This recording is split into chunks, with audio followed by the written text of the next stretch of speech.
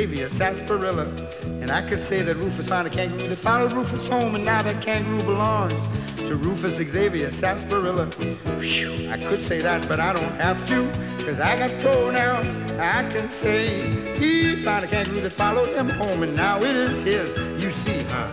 He, him, and his are pronouns replacing the noun. Rufus Xavier Sarsaparilla, a very proper noun and it is a pronoun replacing the noun kangaroo.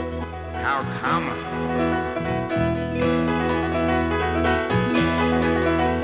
Now Rufus has a sister named Raffaella Gabriella Sarsaparilla. If she found a kangaroo, I'd say to you, she found a kangaroo that followed her home, and now it is hers. But I can't say that, cause she found an aardvark that fell in love with her, and they're so happy. And my name's Albert Andreas Armadillo, no relation to the Sarsaparillas. Because of pronouns I can say, I wish she would find a rhinoceros for me, and we'd be happy.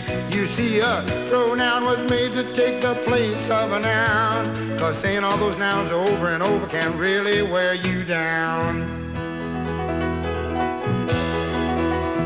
Now I can tell you Raffaella Gabriella and Rufus Xavier Sarsaparilla and Albert Andreas Armadillo found an aardvark, a kangaroo, and a rhinoceros. And now that aardvark and that kangaroo and that rhinoceros belong respectively to Raffaella Gabriella Sarsaparilla and Rufus Xavier Sarsaparilla and Albert Andreas Armadillo. Because of pronouns I can say in this way. We found them and they found us and now they are ours and we're so happy. Thank you, pronoun. You see, a pronoun was made to take the place of a noun. Cause saying all those nouns over and over can really wear you down. Sometimes when we take them all on the bus, people really raise a fuss. They start shouting out a lot of pronouns at us like, who brought that rhinoceros on this bus and what made that horrible noise and which one of them getting off first? Who, what, and which are special pronouns that can ask a question in a sense where you do not know the name of the noun. But I know I have mine and she has hers and he has his and you have yours.